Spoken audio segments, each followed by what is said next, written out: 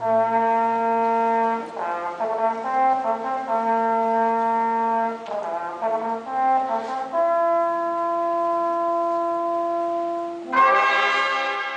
Que acusação me trazem deste homem? Ele difama a nossa nação, dizendo que não devemos pagar tributos a César, e dizendo-se ele o Cristo Rei. Tu és o rei dos judeus? Tu estás dizendo. Isso me preocupa, pois aqui já temos César como nosso rei.